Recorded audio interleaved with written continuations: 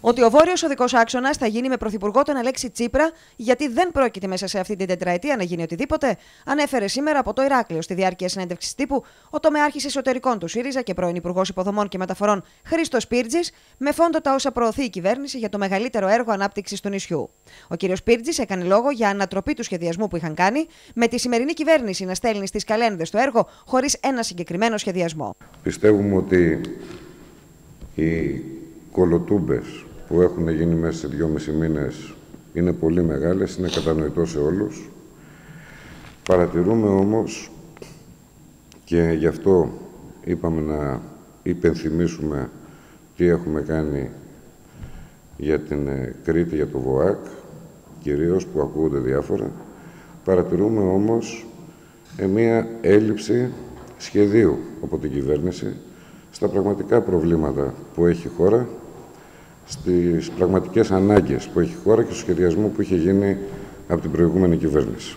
Σε ό,τι αφορά τα λεγόμενα σκίτσα, όπως χαρακτηρίστηκαν, όσα είχε παρουσιάσει ο Χρήστος Σπίρτζης για τον ΒΟΑΚ, ο ίδιος είπε ότι υπάρχουν μελέτες και όχι σκίτσα, εξηγώντας ότι ο ενιαίος διαγωνισμός από το Καστέλι έως τη Σιτία ή έως τον Αγιο Νικόλαο ή την Νεάπολη συνεπάγεται την υλοποίηση του έργου με μικρότερες διατομές, χωρίς διαχωριστική νησίδα και όχι όπως το σχεδίασε η προηγούμενη κυβέρνηση με χαρακτηριστικά αυτοκινητοδρόμου. Θα ήταν καλό να ψάξει λίγο καλύτερα στο Υπουργείο για να βρει τα σχέδια 1 προς 5.000 και τις μελέτες που έχουν εκπονηθεί και έχουν παρουσιαστεί τον προηγούμενο καιρό από εμάς. Απαντήθηκε το γιατί τρεις διαγωνισμοί. Και εδώ είμαστε για να δούμε την κολοτούμπα που θα κάνει η κυβέρνηση συνέχεια ή την αποστολή στις ε, καλένδες της υλοποίησης του Βόρειο Δικού Άξονα Κρήτης και απαντήσαμε και το ερώτημα γιατί πρέπει ο ΒΟΑΚ να είναι χωρίς διόδια για τους κριτικούς και πώς μπορεί να υλοποιηθεί αυτό.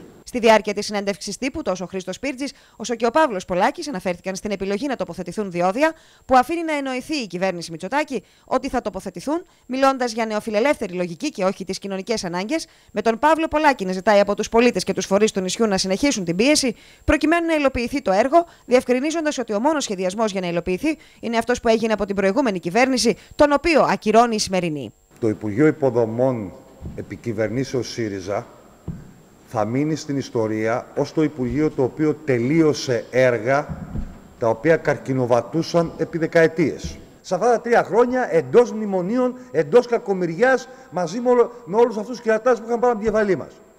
Γιατί τελειώσαν τα έργα και γιατί ανατέθηκαν άλλα, γιατί αυτά πρέπει να, να ακούγονται. Γιατί εμείς δεν κλέβουμε. Είναι πολύ απλά τα πράγματα.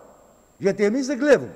Γιατί προχώρησε αυτό εδώ, α, αυτά που είπε ο Χρήστος πριν, για τον ίδιο λόγο και γιατί θέλαμε να γίνει. Δεύτερον, γιατί διόδια. Γιατί διόδια. Γιατί θα έχουμε πάλι παράπλευρα ωφέλη από την ανάθεση της διαχείρισης των διοδίων. Αυτό δείχνει το σκληρό νεοφιλελεύθερο πρόσωπο της Νέας Δημοκρατίας που πάντα έθετε τα έργα υποδομών στην υπηρεσία των συμφερόντων και των εργολάβων και όχι των κοινωνικών αναγκών.